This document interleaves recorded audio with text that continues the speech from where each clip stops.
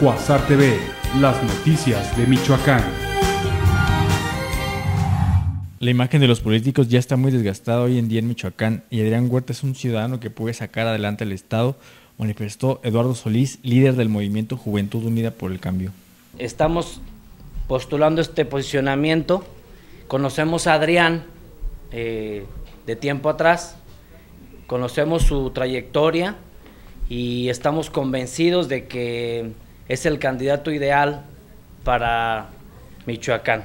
En rueda de prensa, el dirigente juvenil comentó que Huerta Leal no viene a dividir al Partido Revolucionario Institucional. Para Cuasar TV, Héctor Moreno.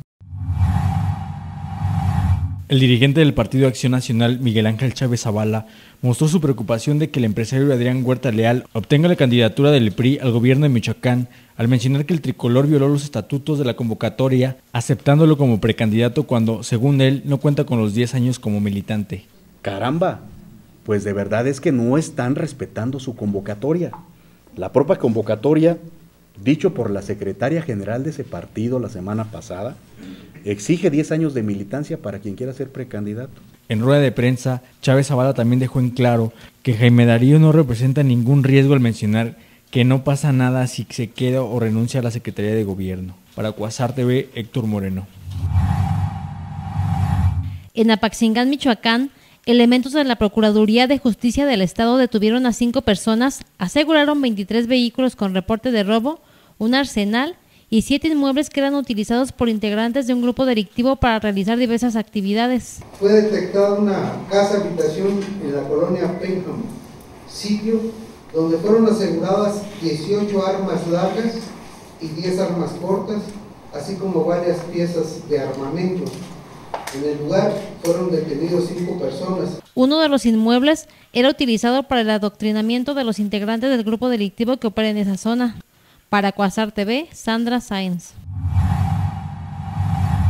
Una empleada del Instituto Nacional para la Educación de los Adultos fue detenida por su probable responsabilidad en el delito de fraude cometido en perjuicio de familiares de un interno del Centro de Reinserción Social de Morelia, donde daba clases de computación. La mujer, quien prestaba su servicio como profesora de cómputo en el centro penitenciario, ofreció, ofreció apoyo y hacer gestiones para que obtuviera su libertad una persona que cuente alguna sentencia de 17 años de prisión por el delito de homicidio. En un mensaje emitido a los medios de comunicación, el procurador de justicia Martín Godoy Castro dijo que se inició proceso contra la trabajadora de INEA luego de que los familiares interpusieron la denuncia al ser defraudados por una cantidad de 100 mil pesos. Para Cuasar TV, Sandra Sáenz.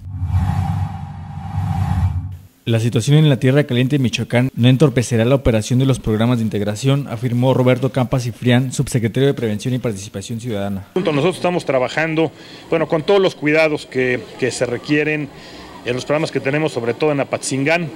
Hay algunos programas que para nosotros son emblemáticos, lo estamos haciendo de la mano con el gobierno del Estado y con, con la Comisión para el Desarrollo. En el marco de la entrega de lentes a estudiantes de la Escuela Primaria Rector Miguel Hidalgo de Morelia, el funcionario federal recalcó que una de las razones que explican conductas antisociales tiene que ver con la deserción escolar. Para Cuasar TV, Héctor Moreno. Con la estrategia de seguridad, Michoacán está mejor que antes, pero la corrupción que dejaron los últimos dos años de gobierno no ha permitido erradicar de fondo los problemas de inseguridad, señaló Fernando Moreno, secretario regional del CEN del PRI. Recordemos que hace dos años cuando el panismo, o tres años cuando el panismo gobernaba este país, este, los grandes capos michoacanos, eh, todos estaban sueltos. Ahora, la gran mayoría, o casi todos, casi, están abatidos o están encarcelados. Eso no sucedía antes. ¿verdad? El problema no está resuelto. El problema no está resuelto. No es un problema sencillo trae 12 años atrás de degradación. En rueda de prensa detalló que para el PRI la estrategia de seguridad no será completa mientras haya un solo muerto. Para Cuasar TV, Sandra Sáenz. Salvador Jara Guerrero, gobernador de Michoacán, descartó que el secretario de Gobierno, Jaime Darío Ceguera, haya renunciado a su cargo para buscar una candidatura como se especuló y dijo que solo pidió una licencia para acudir a una reunión partidista en la Ciudad de México. El licenciado Jaime Madero pidió una licencia por unas horas para ir a su reunión partidista el día de ayer en la Ciudad de México. Ya está integrado totalmente desde hoy en la mañana, acaba de llegar a la ciudad de Morelia y tenemos ya reunión normal de este con él.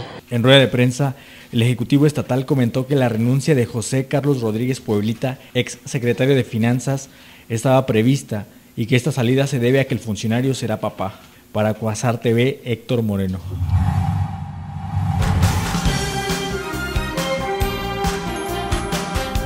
Cuasar TV, las noticias de Michoacán.